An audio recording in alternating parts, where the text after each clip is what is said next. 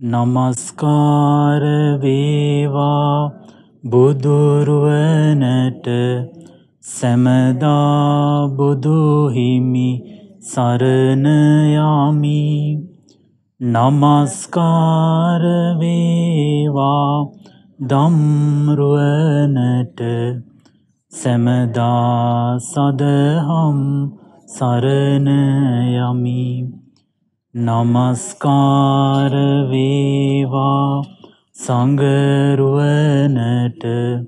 සැමදා මහා සංඝ සරණයාමි නමස්කාර වේවා තුනුරුවනට සැමදාතිසාරණ සරණයමි සාදු සාදු සාදු. ඔබ අප සියලු දෙනාටම මේ සදහම් මඟ කියල දුන්නු. අපගේ ගුරුදේවෝත්තම පින්වත් ලොකු ස්වාමීන් වහන්සේට ඔබ අප සියලු දෙනාගේ නමස්කාරය වේවා. සාදු සාදු සාදු. ශ්‍රද්ධාවන්ත පින්වතුනි අද දින සම්පසාධනී සදහම් දේශනාව සඳහා අනුග්‍රහය දරන්නේ පින්වත් ඒල් නිශාන්ත පුතනුවන් විසින්. ඒ පින්වත් ඒල් නිසාන්ත පුතනුවන්ට නිදුක් නිරෝගී සූපත් භාවය චිරජීවනය සැලසෙත්වා උතුම් මාර්ය සත්‍ය අවබෝධය සැලසෙත්වා කියන අදහසින් මේ උතුම් සදහම් ශ්‍රවණය කරමු. පින්නතුනී මේ ලෝකයේ තමන්ගේ ශ්‍රාවකයින්ට හිතයිශි වූ අනුකම්පා සහගත වූ යම් ශාශ්ුවරයෙක් විසින් යම් අනුශාසනාවක් සිද්ධ කළ යුතුද යම් මඟ පෙන්වීමක් සිද්ධ කළ යුතුද අන්නේ අනුශාසනාව අන්නේ මඟ පෙන්වීම ඒ භාග්‍යවතුන් වහන්සේ විසින් තමන්ගේ ශ්‍රාවකින්ට සිද්ධ කරලා ඉති. භාග්‍යවතුන් වහන්සේ විසින් තමන්ගේ ශ්‍රාවකයින්ට නිවන පිණිස අනුශාසනා කළා. භාග්‍යවතුන් වහන්සේ විසින් තමන්ගේ ශ්‍රාවකයින්ට නිවන පිණිස මඟ පෙන්නවා. පිනතුන නිවන ගැන පිරිපුන්ව දන්න කෙනෙක් තමයි බුදුරජාණන් වහන්සේ කියලා කිය. බුදුරජාණන් වහන්සේලා නිවන් මග ගැනත් පරිපූර්ණම දන්න. ඒ විදිහට නිවන ගැනත් නිවන් මග ගැනත් පරිපූර්ණව දන්න භාග්‍යවතුන් වහන්සේ යම් කරුණක් නිවනට බාධාකාරී වෙනවාද. යම් කරුණක් නිවනට අන්තරාය කර වෙනවාද. යම් කරුණක් පුරුදු කිරීම හේතුවෙන් නිවන් මගින් බැහැර වෙනවාද. අන්නේ කරුණු ගැනත් මනාකොට දේශනා කරලායි තියෙන්නේ. එතකොට අදාපි කතාබස් කරන්නේ නිවනට අන්තරාය කරවන නිවනට බාධාකාරී වන නිවන් මගෙන් ශ්‍රාවකයාව බැහැර කරන කරුණු කාරණාවන් ගැනයි. එතොට මේ සඳහා අපි උතුම් බුද්ධ දේශනාවක් පාදක කරගන්න. මේ සඳහා පාදක කරගන්න බුද්ධ දේශනාවේ නම තමයි ධාරුක් කන්දෝපම සූත්‍රය. අද අපේ දහම් කතිකාවත සඳහා පාදක කරගන්න උතුම් බුද්ධ දේශනාව නම්මකක්ද ධාරුක් කන්දෝපම සූත්‍රය. පින්නතුනී මේ ලෝකයේ ධර්මය පුරුදු කරන කෙනෙක් හයක් වූ ආධ්‍යාත්මික ආයතනයන්ට ග්‍රහණය වෙනවා නම් අන්නේ කාරණාව නිවනට බාධාවක් අන්නේ කාරණාව නිවනට අන්තරාය කර දෙයක් අන්නේ කාරණාව හේතුවෙන් කෙනෙක් නිවන් මගින් බැහැරවෙන. නිවන් මගින් බැහැරවෙන්න හේතුවන නිවන පසක් කිරීමට අන්තරාය කර වෙන පළවෙනි කාරණාව මොකක්ද ආධ්‍යාත්මික ආයතන හයට ග්‍රහණය වීම. ආධ්‍යාත්මික ආයතන හය කියලා කියන්න මොනවද ආධ්‍යාත්මික ආයතන හය කියලා කියන්නේ ඇස කන නාසය දිව කය මනස. ඔන්න ඔය ආයතන හයට කියන මොකක්ද ආධ්‍යාත්මික ආයතන. එතකොට ඔන්න ඔය හයක් වූ ආධ්‍යාත්මික ආයතන වලට යම් කෙනෙක් ඇලෙනවාද? යම් කෙනෙක් ඇලුම් කරනවද? ඒකට කියනවා ආධ්‍යාත්මික ආයතන හයට ග්‍රහණය වීම කියලා. එතට ආධ්‍යාත්මික ආයතන හය කෙරෙහි ඇලුම් කිරීම කියන කාරණාට බුදුරජන් වහන්සේ දෙන වචනයමකක්ද ආධ්‍යාත්මික ආයතන හයට ග්‍රහණය වීම. එතකොට කෙනෙක් ඇයිඒ ආධ්‍යාත්මික ආයතන හයට ග්‍රහණය වෙන්නේ. ආධ්‍යාත්මික ආයතන හයට ග්‍රහණය වෙන්න හේතුව තමයි පින්නතුනී. ඒ ශ්‍රාවකයා දන්නේ නෑ ඒ ආයතනවල තියෙන සැබෑ ස්වභාවය. තර මේ ආධ්‍යාත්මික ආයතන හයත් තියෙනවා කියලා කිව්වනි. එතවට මේ හය ගැනම අපි විස්තර කරන්න අපිට කාලපරි කාල පරිච්චේදය මදි නිසාම අපි මේ ඇහැ කියන කාරණාව මුල් කරගෙන ධර්මය විස්තර කරන්න. එතකොට ඇහැ ගැන සැබෑ ස්වභාවය දන්නඇති හින්ද මොකද වෙන්නේ ඒ කෙනා ඇහැ සතුටින් පිළිගන්නවා. අභිනන්දති. සතුටින් පිළිගන්න කෙනාම ඇහැ ගැන අභිවදති සතුටින් කතා බස් කරනවා. සතුටින් නැහැ පිළිගනිද්දි සතුටින් නැහැ ගැන කතාබස් කරද්දි මොකද සිද්ධ වෙන්නේ ශ්‍රාවකයගේ සිත ඇසෙහි බැසගන්නවා. අජ්ජෝසාය තිට්ටති. ඇසෙහි බැසගන්නවා. එතකොට ඔන්න ඔය විදිහට ඇස සතුටින් පිළිගැනීම්දී. ඇස ගැන සතුටින් කතා බස් කරද්දි. ඇසේ ඇස ගැන සිතෙහි බැස ගැනීමක් උපදිද්දී ඒක තියෙන භයංකාරත්වය තමයි පින්නතන අභින අභිනන්ද කියලා සූත්‍රයක් තියෙනවා. මෙන්න මේ සූත්‍රයේද මේක තියෙන භයංකාරත්වය භාග්‍යවතුන් වහන්සේ විස්තර කරනවා. පින්නොත් මහනෙන යම් කෙනෙක් ඇහැ සතුටින් පිළිගනීද ඔහු සතුටින් පිළිගත්තේ දුකයි.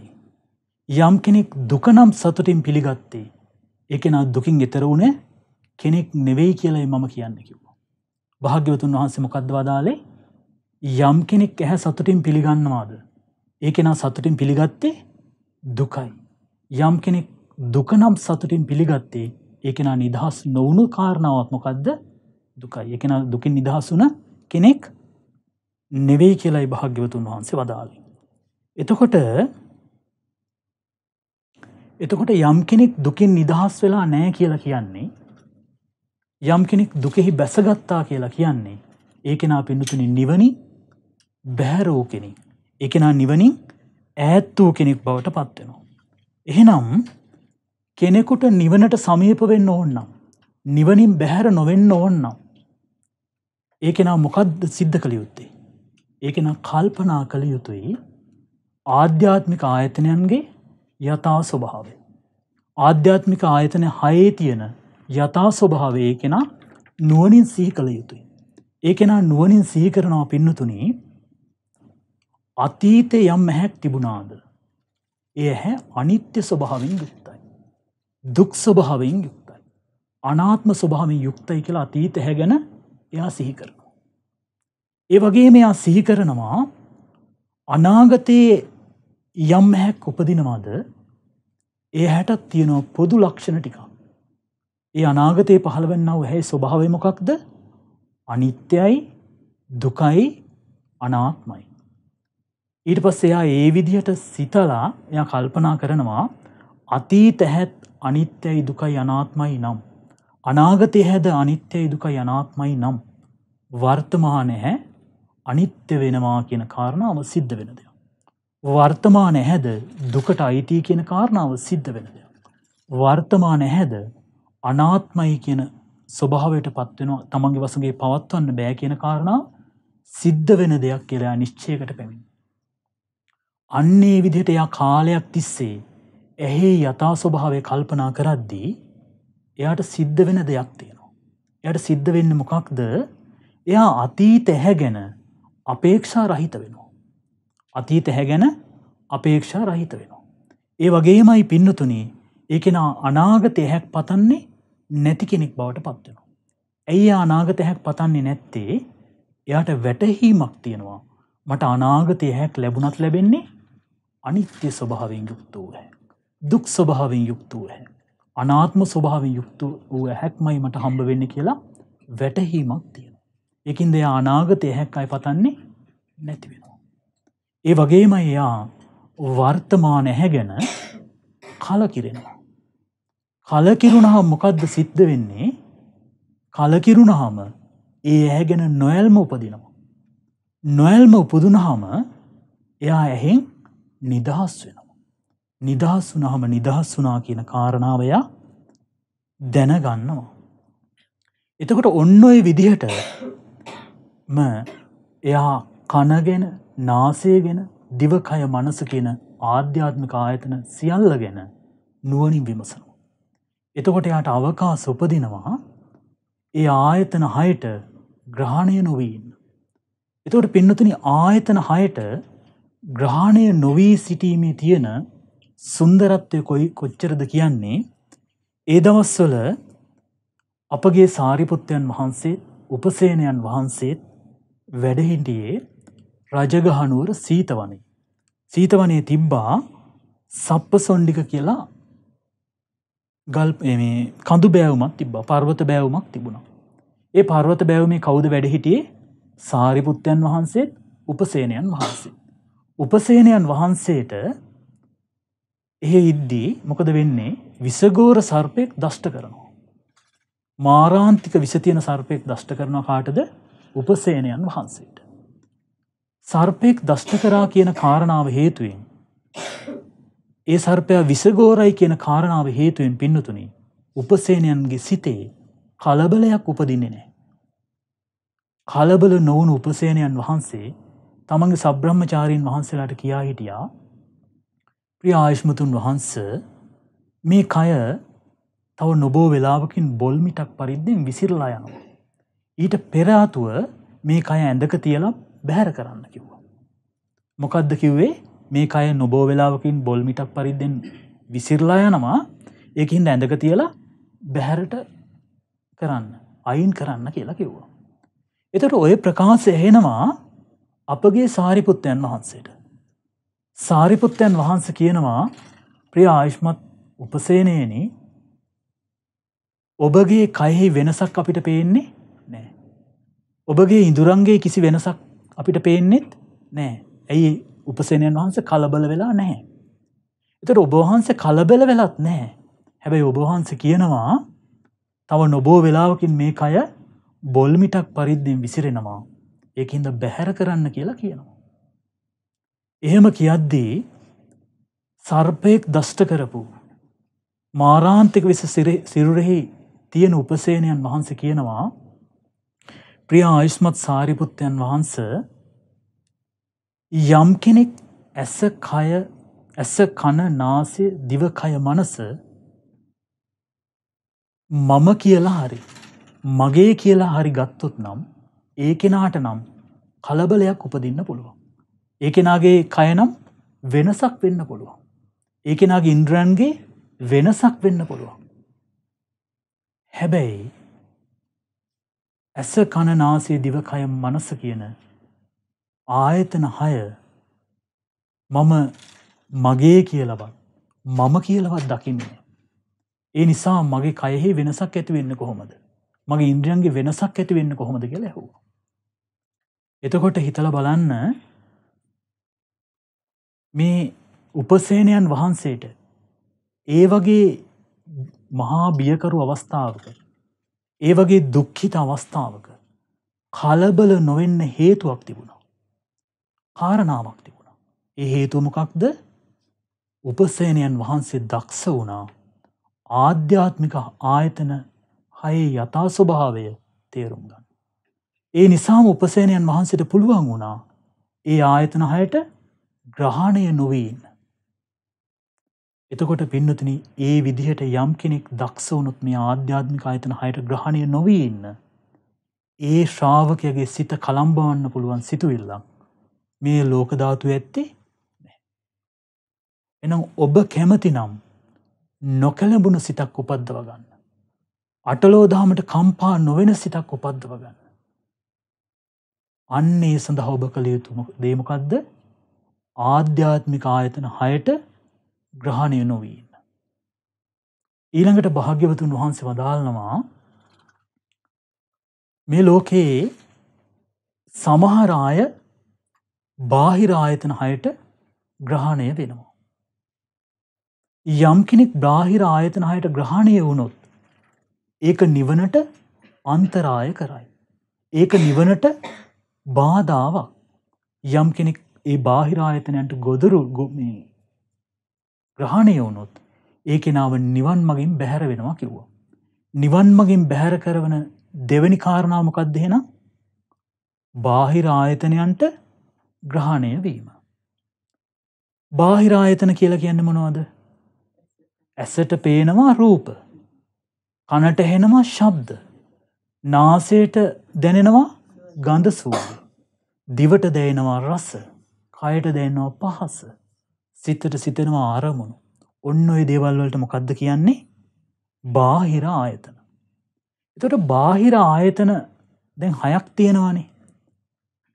වෙලාව නොමැති නිසා අපි රූපය මුල් කරගෙන ඇහැට පේන රූපය ගැන අපි කෙලෙසද කටයුතු කළ යුත්තේ කියන කාරණ ඔබට විස්තර කරන්න. ඉතින් ඔබ දක්ෂවී යුතුයි ඒ දහම් පරියායම අනිකුත් ආයතනයන්ට ගලපලා බලන්න. බුදුරජාණන් වහන්සේ වදාල්නවා කෙනෙක් ඇසට ග්‍රහණය වෙන්නේ ඇයි ඇසට ඇලෙන් කරන්නේ හේතුවමකක්ද කියන කාරණාව මේ විදිහට වදාලා. පින්නත් මහනෙන මේ ඇසෙහි ආශ්වාදයක් නැත්නම් සත්වයෙන් ඇසට ඇල්නවා කියන කාරණාවක් ඇත්තෙ නැහැ. හැබැයි යම් යම් කරුණු හේතුකොටගෙන ඇසෙහි ආශ්වාදයක් තියෙනවා. ඇසෙහි ආශ්වාදයක් තියෙන නිසාම සත්වයෙන් ඇසට ඇලුම් කරනවා කිව්වා. ඒනම් සත්වයෙන් ඇසට නෙමේ සමාවෙන්ට රූපෙට. එතකොට සත්වයින් ශබ්දයට ගඳසුවඳට රසට පහසට අරමුණුවලට බැඳෙනව නම් බැඳෙන් හේතුමකක්ද. එහි තියෙන ආශ්වාදයට අනුරෝපීව කල්පනා කිරීම. ඇයි සත්වයෙන් බැඳෙනව නම් බැඳෙන්නේ ආශ්වාදයක් තිබුණු. හැබැයි ඒ දේවල් ආශ්වාදයක් තියෙනවා. තියෙන නිසාම ඒ දේවල්වලට සත්වයින් බැඳෙනවා කියන කාරණාව සිද්ධ වෙනවා. දැන් ඔබ විමසලා බැලුවොත් මේ ලෝකින්න ඔබ අපහරි එම නැත්තම් අන්‍යූ දෙවි කෙනෙක් හරි අන්‍යූ මනුස්සෙක් හරි. රූපයකට බැඳුන නම් බැඳුනේ ඒ රූපය තියෙන ආශ්වාදය හේතුවෙන්මයි. ශබ්දයකට බැඳුන නම් බැඳුනේ ඒ ශබ්දය තුළ තිබුණා වූ ආශ්වාදය හේතුවෙන්මයි. ගඳ සුවඳකට බැඳුනනම් රසයකට බැඳුනනම් පහස්සකට බැඳුනනම් අරමුණකට බැඳුනනම් බැඳුනේ ආශ්වාදයට අනුරූපීව කල්පනා කිරීම හේතුයෙන්මයි. එදා ආනන්දයන් වහන්සේ සමඟ ඒ වංගීසයන් වහන්සේ සැවැත්නුවරට පිණ්ඩ පාති වැඩිය. පිණ්ඩ පාති වඩිද්දී කාන්තාරූපයක් දකිනවා කවුද වංගීසයන් වහන්සේ. ඒ රූපයේ ආශ්වාදය කල්පනා කරනවා කවුද වංගීසයන් වහන්සේ. ආශ්වාදයට අනුව කල්පනා කරද්දි මොකද වෙන්නේ ඇලීමක් උපදිනවා. ග්‍රහණයීමක් සිද්ධ වෙනවා. දැන් ඒ සිදුව වංගීසයන්ගේ සිත තුළත් ඉපදුනා. වංගීසයන්ගේ සිත තුළ රාගය ඉපදුනා. වංගීසයන් කියනවා ප්‍රිය ආයුෂ්මත් ආනන්දයන් වහන්ස මගේ සිත රාගයෙන් ගිනිගන්නවා. මගේ සිත ආසාාවෙන් ගිනිගන්නවා. කාම රාගෙන් මේ සිත පිච්චි පිච්චී තියෙන්නේ. අනේ මට උපකාර කරන්න කිව්වා. එතොට ආනන්දයන් වහන්ස කියනවා ප්‍රිය ආයුස්මත් වංගේසයනේ ඔබ සුභ විදිහට හිතුවා. ඔබ ආශ්වාදයට අනුව කල්පනා කළා. ඒ හේතුවෙන ඔය රාගේ ඉපදුනේ. ඒ හේතුවෙන ඔය සිතේ ගින්න ඉපදුනේ. ඒ හේතුවෙන ඔබේ සිත ඇලීගිය. ඒක නිසා ඔබ නොයලී ඉන්න කැමතිනම්. රාගගින්න නිවන්න කැමතිනම්. ඔබ කල්පනා කරන්න ඔය දේවල් සකස් වූ දෙයක් විදියට. ඔය දේවල් ගැන ඔබ කල්පනා කරන්න වෙනස් වෙන දෙයක්කට විදිහට ඔය දේවල් ගැන ඔබ කල්පනා කරන්න දුකට අයිති දෙයක් විදිහට. ඒ දේවල් ගැන ඔබ කල්පනා කරන්න සිින්දී බිදී යන දෙයක් විදියට. එහෙනම් ඔබට අපට බාහිර ආයතනයන්ට ග්‍රහණය නොවී ඉන්න නම් අපි ඒ දේවල් ගැන කොයි විදිහට කල්පනා කළ යුත්තේ.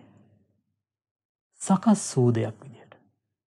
හේතුවන්ගෙන් හටගත්තු දෙයක් විදිහට අපි ඒ දේවල් ගැන කල්පනා කළ යුතුයි. අනුන්ගේ දෙයක් විදිහට අපි ඒ දේවල් ගැන කල්පනා කළ යුතුයි. සිඳීබිඳී යන දෙයක් විදිහට අපි ඒ දේවල් ගැන කල්පනා කළ යුතුයි. දුකට අයිති දෙයක් විදිහට අපි ඒ දේවල් ගැන කල්පනා කළ යුතුයි. ආත්මයෙන් තොර දෙයක් තමාගේ වසගේ පවත්වන්න බැරිදයින් ශුන්්‍යයි කියලා ඔබ ඒ දේවල් ගැන කල්පනා කළ යුතුයි. අන්න එහෙම කල්පනා කළ කොළොත්න්. ඔබට අපට භාග්‍යවදා වෙනවා රූපයට නොයලීන් සබ්දයට නොයලීන් ගඳස්වෝදට නොයලීන් රසයට නොයලීන් පහසට නොයලීන් අරමුණුවලට නොයලීන්. එහෙම නොයලී හිටියුත් පමණක් මයි නිවනට නිවන් මගින් බැහැර නොවෙන්. එහෙම නොයලේ හිටියොත් පමණක් මයි අපට නිවනට ලබන්න සුදුසු අය බවට පත්වේ. ඒක නිසා ඔබ ඒ විදිහට බාහිර ආයතන ගැන කල්පනා කළන්න. ඊළඟට බුදුරජාණන් වහන්සේ විසින් වදාල්නවා නිවරට අන්තරාය කර වූ නිවන ලබන්න බාධාකාරයෝ නිවන් මගින් බැහැර කරවන්න වූ තුව්වැනි කාරණාවක් ගැන. තුව්වැනි කාරණාව මොකක්ද නන්දිරාගය. නන්දිරාගය කියලා කියන්න මොකක්ද නන්දිරාගය කියලා කියන්න පින්නතුනි ආශ්වාදයෙන් ඇලෙනවා කියන කාරණාවට. නන්දිරාගය කියලා කියන්න මොකක්ද ආශ්වාදයෙන් ඇලෙනවා. එතකොට මේ සත්වයින් ආශ්වාදය නැලෙන්නේ මොකටද. සත්වයින්ට නන්දිරාගේ උපදින්නේ මොකක් කරබයාද. පින්නතුනින් මේ ලෝකයේ යම් දෙයක් ප්‍රිය ස්වභාවෙන් යුක්තනම්. යම් දෙයක් මිහිරි ස්වභාවෙන් යුක්තනම්. අන්නේ දේට තමයි සත්වයින් ආශ්වාදයෙන් ඇලෙන්නේ. ඒදේ හේතු කරගෙන තමයි නන්දිරාගේ උපදින්. නන්දිරාගේ උපදින්න මොකක් හේතු කරගෙනද මේ ලෝකේ යමක් ප්‍රිය ස්වභාවෙන් යුක්තද අන්නේ දේ හේතු කරගෙන නන්දිරාගේ උපදිනවා. ආශ්වාදෙන් ඇල්නවා සරලොමකිවොත් කැමැත්තෙන් ඇලෙනවා. අපි කැමැත්තෙන් ඇලෙන්න මොකටද මිහිරි ස්වභාවෙන් යුතු යමක් වේනම්. අන්නේ දේට අපි ඒ දේ හේතු කොටගෙන අපේ සිත තුළ නන්දිරාගේ උපදිනවා. ඒ හේතු කරගෙන අපේ සිත් කැමැත්තෙන් ආශ්වාදයෙන් ඇලෙනවා කියන කාරණාව සිද්ධ වෙනවා. එතකොට මේ ලෝකයේ තියෙන ප්‍රිය ස්වභාවයට අයිතිදේ මොකක්ද. මිහිරි ස්වභාවට අයිතිදේ මොකක්ද ඇස කියන්නේ ප්‍රිය ස්වභාවයට අයිති දෙයක්. ඒ නිසයි අපි ඇස්සට ආශ්වාදය නැලුණේ. එන නන්දිරාගේ උපදිනවා ඇස කියන කාරණාව හේතුකොට. එට හේතුමකක්ද ඇස ප්‍රිය ස්වභාවෙන් යුක්තක් යුක්ත වූ දෙයක් වීම. ඇස මිහිරි ස්වභාවෙන් යුක්ත වූ දෙයක් වීම. ඒ විදිහටමයි කණනාසේ දිවකය මනස කියන ආධ්‍යාත්මික ආයතන හයම මේ ලෝකෙ දෙවියන්ට මිනිසුන්ට ප්‍රියයි. මේ ලෝකේ දෙවියන්ට මිනිසුන්ට මිහිරි ස්වභාම යුක්තයි. එනම් නන්දිරාගේ උපදිනවන උපදින්නේ ඔය කියපු හයක් වූ ආයතන හේතුවෙන් උපදිනවා.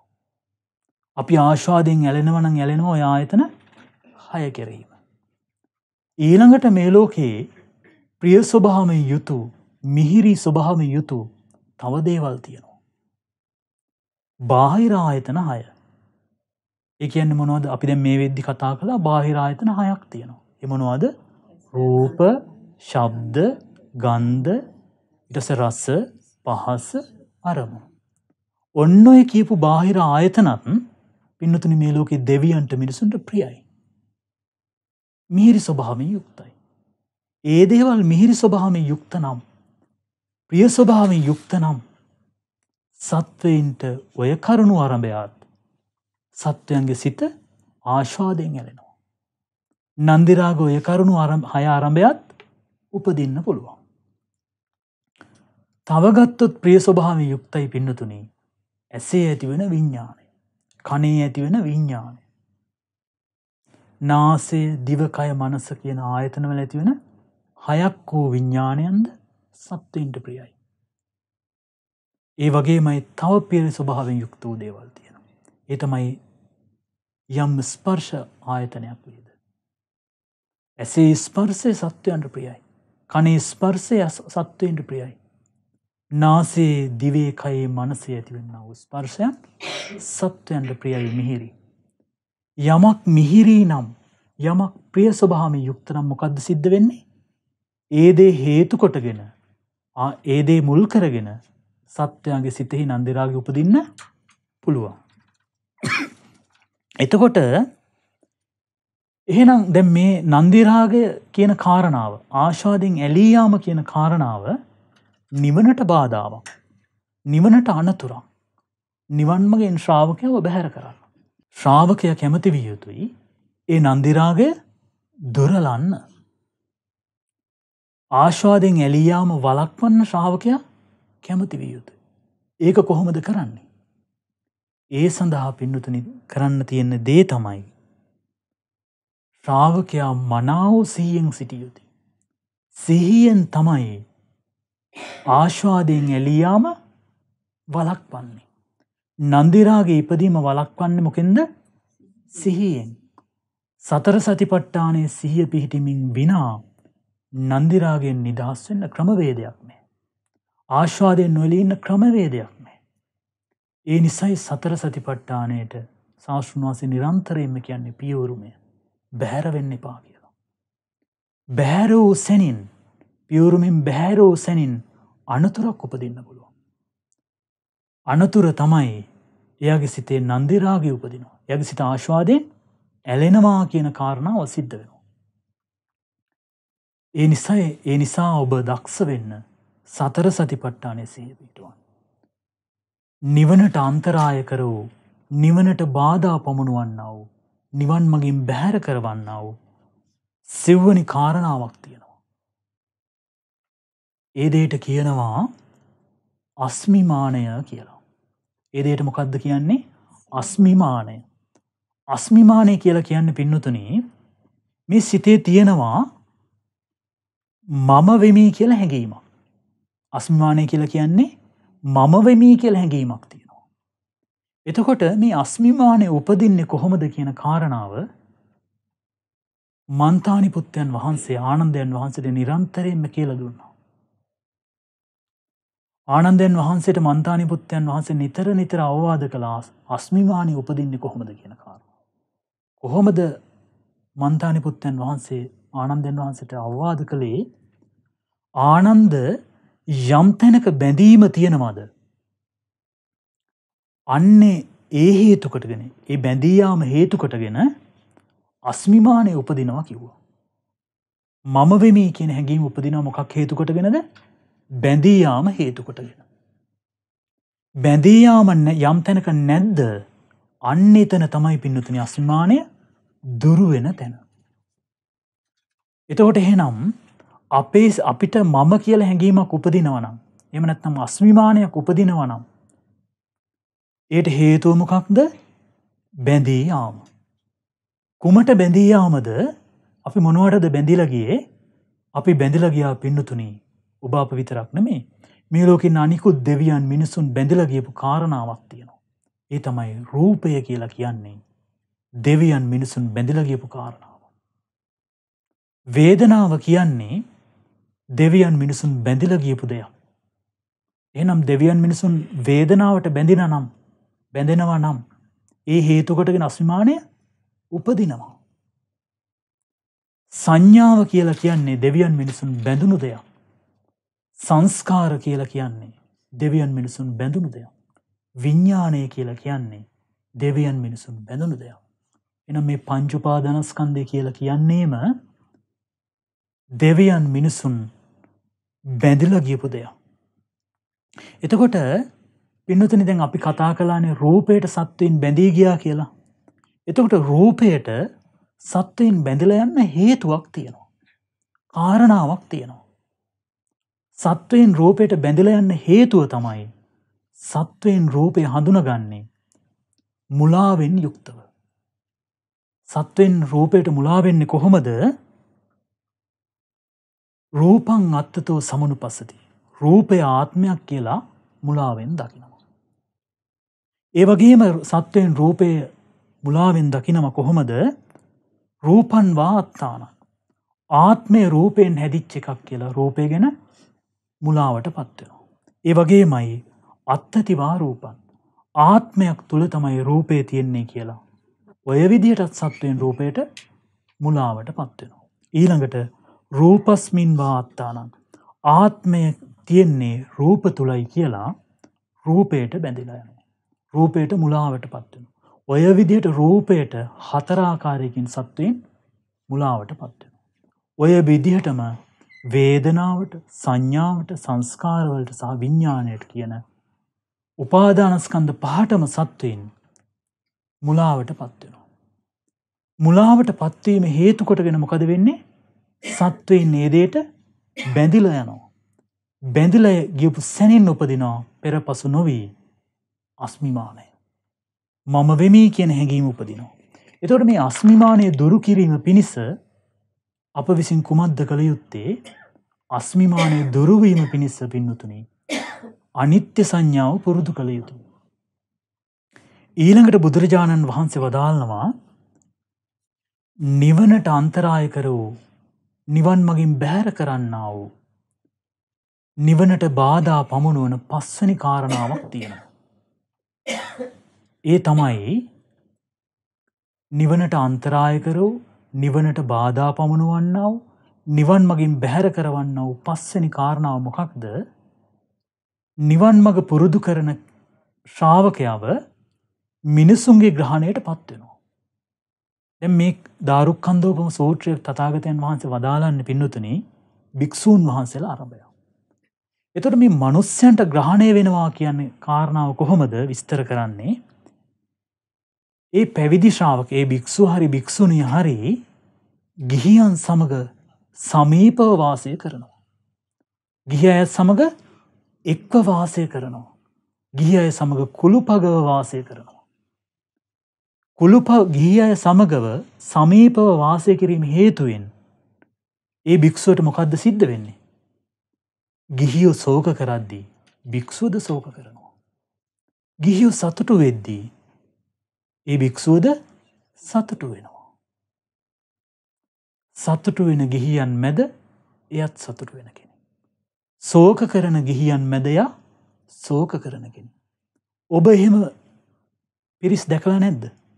ඔබ දැකලා නැද්ද පින්නතුනී ගොවිතැන් කරන මිනිසුන් මැද්ද ගොවිතැන් කරන ශ්‍රමණවරු. ශ්‍රමණයයි කියා ගන්න පිරිස්. අරගල කරන පිරිස් මැද්දේ අරගල කරන පිරිස් ඔබ දැකල ඇති. ඒ පිරිස දකිද්දී ඔබට හිතෙනවනම් අනේ හරි ශෝක්නය හරි අපූරුවට ගොවිතැන් බත් කරනවන කියලා ඒ ගැන ඔබ ලැජ්ජ වෙන්න. ඒ විදියට ඔබ නිවට වෙන්න එපා. ඇයි ඒ පිරිස දකිද්ද ඔබ නිශ්චයකට පැමිණෙන්න. මේ පිරිසනන් නිවන් මගින් බැහැර වූ පිරිසක්. මේ පිරිසනන් නිවන් මගින් චුත වූ පිරිසක්. මේ පිරිසනන් නිවන් මගෙන් අයිති නැති පිරිසක්. කියන කාරණාව කියන වැටහීම උප උපදවගන්න. බුදුරජාණන් වහන්සේ විසින් ශ්‍රාවකීන්ට දායක පිරිස් වැසුරු කරන්න කිවේ කොහොමද පිනතින ඔබ දැකලා තියෙනවනේ අහසේ සඳ පායනවා. ඊය පායපු හඳනෙමේ අධාර අදරායට පායන්. අදරෑ තියෙන හඳ නෙමේ හෙට උදේට පායන්. හඳ හෑම දවසම අලුත්. හඳ හෑම දවසම නැවුම් අන්නේ විදිහට දායක පිරිස් වැසුරු කරන්න කිව. ඒ විදිහට ආගන්තුක ස්වභාවයෙන්ම දායක පිරිස් ඇසුරු කරන්න කිව්වා. ඒ විදියට දායක පිරිස් ඇසුරු කරද්දී කොහොම දැසුරු කරන්න කිව්වේ තමන්ගේ කයයි සිතයි බැහැර කරගෙන. දැන් ඒක මෙන්න මේ වගේ කිව්වා. ඔන්න ගරාවැටිච්ච ලිඳක් තියෙනවා. එම නැත්තන් ගරාවැටිච්ච ගැඹුරු වලක් තියෙනවා. ඒ වලට ඔබ එබිකම් කරද්දී ඔබ මොකද කරන්නේ. කය වලින් මෑත් කර ඈත් කරගෙනමයි බලන්න ඒකට එබිකම් කරන්න. ඇයි දන්නවා ඔබට වැටෙන්න පුළුවන්. දරුණු ප්‍රපාතයකට එබිකම් කරද්දී ඔබේ ප්‍රපාතයට එබිකම් කරන්නේ කය බෑර කරගෙනමයි. ඔන්න ඔය විදිහටම පින්නතුනි දායක පවුල්ල සුරු කරන්න. නිවනට කැමති පිරිස නිවනට නිවනින් දුරස්වෙන්න අකමැති පිරිස දුක දුරු කරන්න කැමති පිරිස දායකින් සමඟ ගණු දෙනු කරන්නේ අන්නේ විදිහටයි. හරියට ප්‍රපාතයකට එබිකම් කරන නුවනැති කෙනක් විදිහට. තමන්ගේ කය ඈත් කරගෙනම එබිකම් කරනවා. ඇයි දන්නවා යම්හයකි මම ගිහියන්ට ග්‍රහණය වුණොත් ඒක නිවනට බාදයි. ඒක නිවන් මගින් මහ බාම බැහැර කරන්න හේතුවක් වෙනවා. ඒ කාරණාව දන්නවා. ඒ කාරණාව දැනගත්තු ශ්‍රාවකයෙන් පින්නතුනී ගිහි පිරිස් ඇසුරු කරපු විදි හරි අපූරුයි. හරි අත්භූත ජනකයි. ඒ දවස්සල මච්චිකා සණ්ඩයේ අම්බාටක කියන ප්‍රදේශ ඉන්නවා අස්තවර භික්‍ෂූන් වහන්සේලා. ඒ භික්‍ෂූන් වහන්සේලා අතර අලුත පැවිදුණු භික්ෂුවක් හිටිය. ඒ භික්‍ෂුගෙ නම මහක ඒ භික්‍ෂුව නම්මකක්ද මහක. ඉතිං ඔය මච්චිකා සණ්ඩ ඉන්නවා චිත්ත කියලා ගෘහපති කෙනෙ. ඒ ගෘහපතියන්ට වුවමනා වෙනවා ස්තවර භික්‍ෂූන් වහසලට දානයක් දෙන්න. ඊට පස්සේ ස්වාමීන් වහස ළඟට ගිල්ලකිව ස්වාමීනී හට දවසේ දානට මගේ ගෙදරට එන්න කිව. අනුකම්පාව නිසාම ස්වාමීන් වහසල දානෑර නොපිළිගත්තා. ඔන්න චිත්ත ගෘහපතිගේ ගෙදරට ස්වාමීන් වහසල වැඩම කරලා දානෙ වලඳවා. දානෙ වලඳලා අහවර වුණා. ආවර වෙලා ස්වාමීන් වහන්සේලා චිත්ත ගෘහපතිගේ නිවස ඉඳලා තමන්ගේ වෙහෙරට යන්න පිටත් වෙනවා. ඒ පිටත්වෙදි චිත්ත ගෘහපති ගෙදරහිට වැඩකාරයන්ටකව එහෙනම් මේ දාන භාජන්ටික ඕගලන් අස් කරන්න මමත් ස්වාමීන් වහසලත් එක්ක වෙහෙරට ගිහිල්ලා එන්නම් කිව්වා. එහෙම කියලා ස්වාමීන් වහසලා පිටිපස්සෙන් කවුද යන්නේ චිත්ත ගෘහපතිතුමා. පිනතන මේ සිදුවීම සිද්ධ වෙන්නේ දවල් දොළහට විතර. ඇයි දවල්දානේ වලඳ ලහවරයි. ඒ වගේමයි හොඳට පෑවිල්ල තිබුණු කාලයක්. ඉන්දියාව පැවිල් අතිශය දරුණුයි. ඒවගේම මේ සිදුවීම සිද්ධ වෙන බුද්ධ ශාසනය බුද්ධ ශාසනය මුල් අවදී. මුල් අවදී ස්වාමීන් වහන්සලාට සෙරප්පු දාන්න පාවහන් පළඳින්න තතාගතයන් වහන්සේ අනුදන වදාල්ලා තිබෙන. ඒක නිසාම ස්වාමීන් වහන්සේලාට චිත්ත ගෘහපතිගේ නිවසේදං තමන්ගේ වෙහෙරට වඩින්න වෙන්නේ පාවාහන් රහිත පාව යුගල් සහිතව. එතකොට අව්වට රත්වුණු පොළොවේ අඩිය තියද්දී ස්වාමීන් වහසලාගේ පාදයන් වලට අපහසුවක් ඉපදුණා. මේ කාරණාව දකිනවා හැම ස්වාමින් හැමට පිටිපස්සයන ස්වාමීන් වහන්සේ නමක් වුණ මහක. මහක ස්වාමීන් වහන්සේ තමන්ට වැඩි තමන්ගේ වැඩිමල් සබ්‍රහ්මචාරීන් වහන්සරන් යහනවා පින්න ස්වාමීන් වහන්ස සීතල සුළං හමනවනම් වැහි වලාකුළුවලින් මේ හිර ඉර ආවරණය වෙනවනම් වැහි පොදක් දෙකක් වැටෙනවන හරි අපූරුයි නේද කියලැහවා. එතවට මහක දිහාවට බල්ල ස්වාමීන් වහන්සලා හිනාවෙලා කියනවා අනේ සීතල සුළං හමනවනම් කොච්චර හොඳද. වැහිවලාකුළ ඇවිල්ලා මේ ඉර වහනවනම් ඉර ආවරණය කරනවනම් කොච්චර හොඳද. වැහි පොදක් දෙකක් වැටෙනවනම් කොත රම්ම පුරුද. එහෙම කිව්වෙන් පස්සේ මහක ස්වාමීන් වහන්සේ එරදියක් පාන එරදි ප්‍රාතිහාරය පානවා ඒ ඉර්දි ප්‍රාතිහාරය හේතු කොටගෙන මොකද වෙන්නේ සීතල සුමං සුළං හමනෝ. වැස්ස වැටෙනවා. වැහි වලාකුලින් ඉර ආවරණය වෙනවා. මේ කතාසල්ලාපය ඇහෙනවා කාඩද චිත්ත ගෘහපත්තුමාට. චිත්ත ගෘහපත්තුමා හිතනවා මේ හැමටම නවකූ මහක ස්වාමීන් වහන්සේලා කිය කියලා කියන්නේ මහා එර්දිමත් කෙනෙ. මහා ආනුභාව සම්පන්න කෙනෙ. එහෙම හිතලා හිත් එහම ඒ සිතුවිල්ලෙම ස්වාමීන් වහසල පිටිපස්ස යනවා. ගිල්ල දැන් ස්වාමීන් වහසලා වෙහෙරට වැඩිය. වෙහෙරට වැඩියෙන් පස්සේ තම තමන්ගේ කුටිවලට අර ස්ථර භික්‍ෂූන් වහසල වැඩිය. ඊට පස චිත්ත ග්‍රහවත්තුම හිමීට යනව කාලඟටද මහක ස්වාමීන් වහන්සේට. මහක ස්වාමීන් වහසට වන්දනා කරලා කියනවා ස්වාමීණී මහකයන් වහන්ස අපි කැමති එර්දි ප්‍රාතිහාරය දකින්න. අපි කැමති තවත් එරුදියක් දකින්න. මාක ස්වාමීන් වහන්සේ hina වෙලා කියන එහෙමද එහෙනම් ඔයාගේ උතුරු සළුව බිම එලන්න කිව්වා බිම එලලා ඒකට වියලි කොලරොඩු ටිකක් එකතු කරන්නකිවා දැන් උතුරු සලුව මත්තේ තියෙනව මොනවද වියලි කොලරොඩු. එහෙම කියලා මහක ස්වාමීන් වහන්සේ තමන්ගේ කුටියට ගියා. කුටියට ගිහිල්ල දොරක දොරේ යතුර අගුළු ලාගත්තා. අගුල් ලාගත්තයින් පස්සෙ මොකද වෙන්නේ යතුරු සිදුරින් පින්නතුනී ගින්දරක් නික්මිලා අර උතුරු සලුව මත්තෙ තියෙන වියලි තනරොඩු දැවැනි විදිහේරදයක් මහකයන් වහන්සේ දැක්වුවා. එහම දක්වල ආපහු තමන්ගේ දොර ඇරගෙන දොර විවෘත කරගෙන චිත්ත ගෘහපත්තුමාළඟට ආව.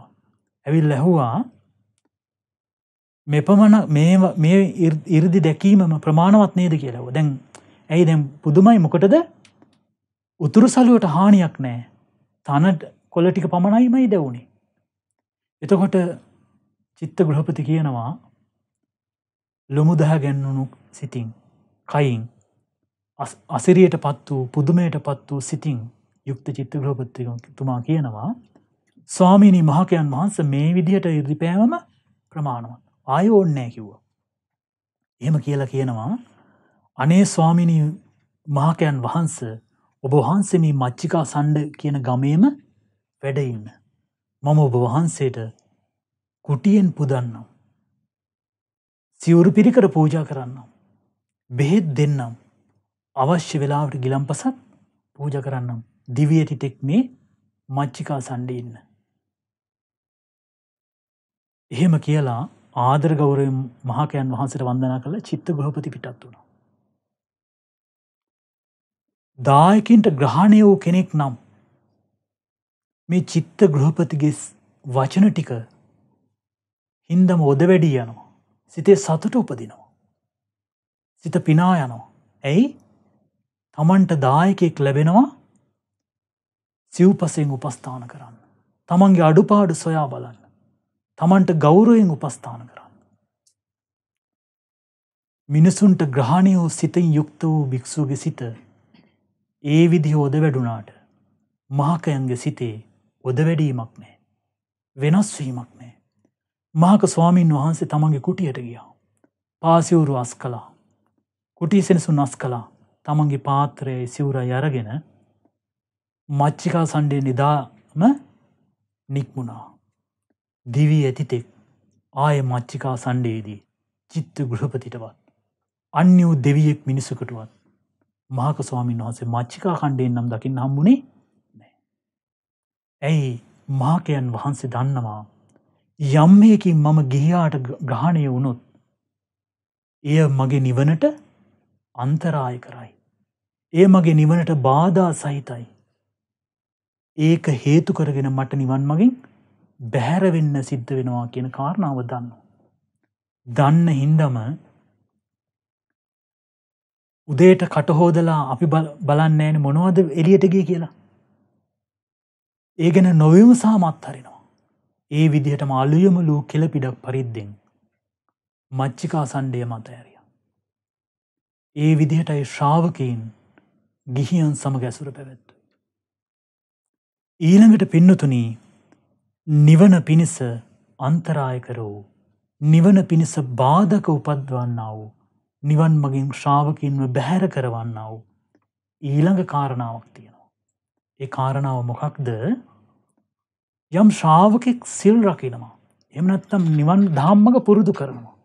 එම නැත්තම් යම් බ්‍රහ්මචාරී ජීවිතයක් ගෙවනවා. එයාට අදහසක් තියෙනවා. මං මේ රකින්නාව වෘතය හේතු කොටගෙන. මං මේ රකින්නාව සීලය හේතු කොටගෙන.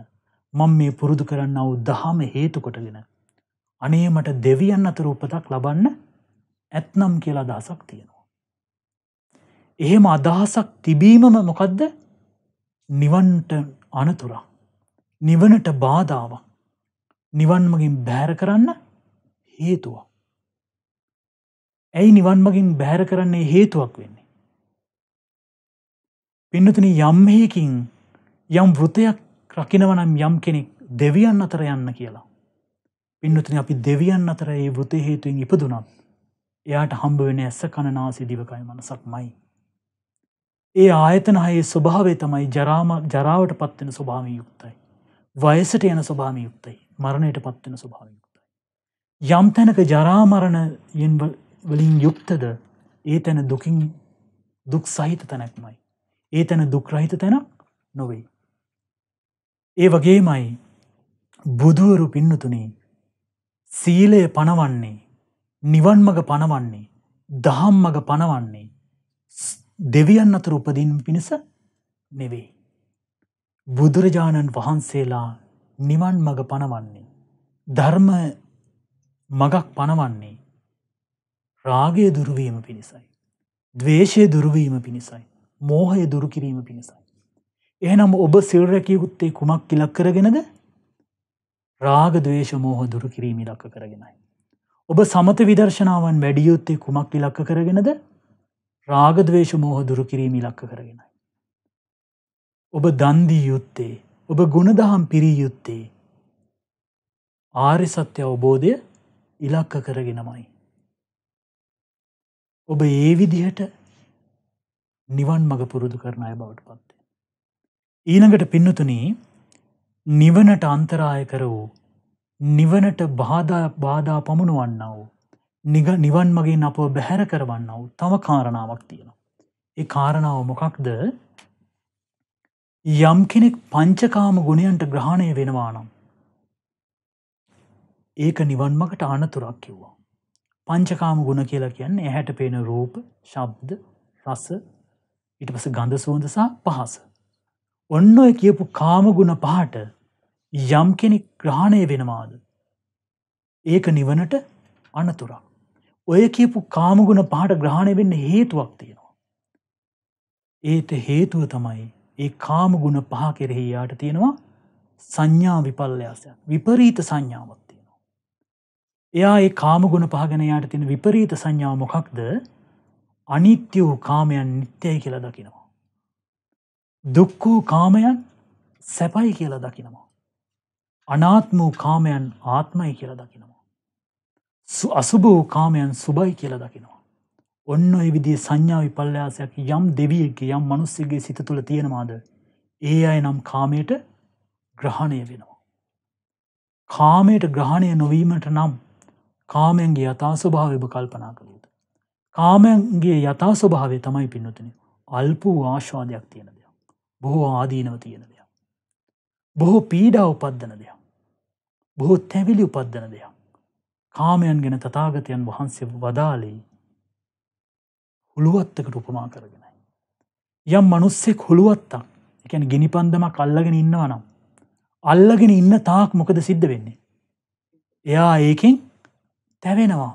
එයා ඒකින් පීඩාවට පත්වෙනවා. එයාට ඒ පීඩාව නිදහස් වෙන්න ඕන්නන් එයා මොකද කළ යුත්තේ. ඒ හුළුවත්ත ඒ ගිනිපන්දම බැහැර කළ යුතුයි. ඒ පරිද්දෙම්මයි පින්නතුනී මේ ලෝකේ යම් කෙනෙක් කාම ගුණයන්ට ග්‍රහණය වෙලා ඉන්නන ඒතාක් එයට පීඩාව උපදිනවා කියන කාරණාව සිද්ධ වෙනවා. ඒතාක් තැවුල් උපදිනවා කියන කාරණාව සිද්ධ වෙනවා. හැබැයි යම් කෙනෙක් කාමගේ යතා ස්වභාවය දැක්කොත් අන්න ඒ අයට අවකාශ උපදිනවා ඒ කාමගුණයන්ගෙන් නිදහස්වෙන්. ඊළඟට පින්නතුනී නිවන පිණිස අන්තරාය කර වූ නිවන පිණිස බාධක වන්නාව නිවන් මගින් බැහැර කිරීමට හේතුවන තම කාරණාවක්ති. මේ තමා අටවෙනි කාරණ. ඒ තමයි යම් කෙනෙක් දුසිල්වන්ත නම්. යම් කෙනෙක් පවිට වූ ජීවිතයක් ගෙවනවනම්. යම් කෙනෙක් පවිට වූ ගුණියෙන් යුක්තනම්. අන්නේ පිරිසට නිවන උපදින්නේ නෑකිවෝ. ඒ පිරිස නිවන් මගින් බැහැර වෙනවා කිව. ඇයි බැහැර වෙන්නේ පින්නතුනි සීලය නම් වූ ගුණදහම් මත තමයි පිහිටලා තමයි සෝවාන් වෙන්න පුළුවන් වෙන්. සකදාගාමි වෙන්න පුළුවන් වෙන්න අනාගාමි වෙන්න පුළුවන් අරහත්වය පසක් කරන්න පුළුවන්. එනම් මේ ලෝකයේ යම් කෙනෙක් අතීතයේ මගඵල ඉපැද්දවා නම් ඒ උපද්දපු හෑම දෙනෙක්ම සීලය මත පිහිටලයි පැද්ද. අනාගතයේ මෛත්‍රී බුද්ධ ශාසනය තුළ වේවා යම් කෙනෙක් මගඵල නිවන් උපද්දනවා නම් ඒ සියල්ලෝම සීලවන්තයෝ. එනම් ඔබ කැමතිනම් මගඵල ලබන්න නිවන පසක් කරන්න. ඒ සඳහා ඔබ සීලවන්තාය බවට පත්ව යුතුේ. ඉන්න සිල්වන්ත වෙන්න කැමතිවේ. ඔන්න ඔය විදිහට එදා දාරුක් කන්දෝපම සූත්‍රය වදාල්න වෙලාවේ තතාගතයන් වහන්සේ නිවනට අන්තරාය කර වූ නිවනට බාධා පමුණුවන්න වූ නිවන් මගින් බැහැර කරවන්න වූ කාරණ අටක් කියල දුන්නා. සමහර විට ඔය කාරණ ඔබට ශ්‍රවණය කරද්දී දැන් ඔය කාරණා භාග්‍යතුන් වහන්ස වදාලේ භික්‍ෂූන් වහන්සේලා අරභය. ඔය කාරණාවන් ඔබට ශ්‍රවණය කළද්දි හිතෙන්න පුළුවන් මේ කාරණාවන් ගිහි අපට අදාළ නෑන කියලා. ඔබ ඒ විදිහට නොසිතිය යුතුයි. ඇයි ඔබට ඒ විදිර නොසිතිය යුත්තේ පින්නතුනි ගිහියාට වේවා පැවිද්ධාට වේවා දුකින් නිදහස් වෙන්න ඕන්නම් ඒ සඳහා නිවන පසක් කළ යුතුමයි. නිවන පසක් කරන්න නම් ඔය බාධාවන්ට යට නොවී ඔය බාධාවන් කණ්ඩනය කළ යුතුයි. ඔය බාධාවන් මැඩ පැවැත්විය යුතුයි. ඔය බාධාකයන් මැඩ පවත්වන්නේ නැතුව ගිහියකුට වේවා පැවිද්දෙකුට වේවා දුකින් එතරවීමක් පසක් කරනවා කියන කාරණාවක් සිද්ධ වෙන්නේනෑ. එනම් මේ කාරණාවන් ගැන දැන ගැනීම පැවිද්දාට යම්සේ යහපත උපද්දනවාද ගිහියාටද යහපත උපද්දනවා. ඒ කාරණාව ප්‍රත්‍යක්ෂ වෙන්න මං ඔබට තව කාරණාවක් සී කරන්න. එදා පින්නතුනි ධාරුක් කන්දෝපම සූත්‍රය දේශනා භික්‍ෂූන් වහන්සේලට තතාගතයන් වහන්සේ දේශනා කරද්දී ඒ ළඟපාත හිටියා හරක් බලන කොල්ලෙක් එ කොල්ලගෙනම නන්ද. නන්දයන් තමන්ගේ හරකුන්ට තනකොල කවමිනු හිටිය. හැබැයි නන්දයන්ට ඇහෙනවා ලෝකයේ දෙව්මිනිසුන්ට අමූර්තය දන්දුන්න මහා මුනිවරයා තමන්ගේ ශ්‍රාවකින් නරඹයා නිවන ගෙන අනුශාසනාවක් කරනවා. මේ ධාරුක්කන්දෝපම සූත්‍රය වදාල්ල අහගෙනීටිය. ආගෙන හිටපු නන්දයන්ට ගෙ සිටේ සිතුවිල්ලක් උපදිනවා අනේ මටත් මේ ආධ්‍යාත්මික ආයතන හයට ග්‍රහණය නොවී ඉන්න ඇත්නම්. අනේ මටත් මේ බාහිර ආයතනයන්ට ආයතන හයට ග්‍රහණය නොවී ඉන්න ඇත්නම්. අනේ මටත් අස්මිමානය දුරලන්න ඇත්නම්. අනේ මටත් නන්දිරාගයට උපද්වන්නේ නැති කෙනෙක් වෙන්න ඇත්නම්. අනේ මටත් මිනිස්සුන්ගේ ග්‍රහණයට හසු නොවිච්ච ජීවිතයක් ගෙවන්න ඇත්නම්. අනේ මටත් නිවන පිණිසම් බඹසර රකින කෙනෙක් වෙන්න ඇත්නම්. අනේ මටත් කාමයන්ට ග්‍රහණය නොවී නැත්නම්. අනේ මටත් සීලවන්ත ජීවිතයක් ගෙවන්න නැත්නම් කොතරම් හොඳද කියලා හිතුන. එහෙම හිතුණු නන්දක නන්දයන් මොකද කරන්නේ තකහානී දුවලෑවෙනව තතාගතයන් වහන්සේනට. දුවල ඇවිල්ල වන්දනා කල්ලා කිව ස්වාමිනී භාග්‍යවතුන් වහන්ස මව පැවිදි කරන්න.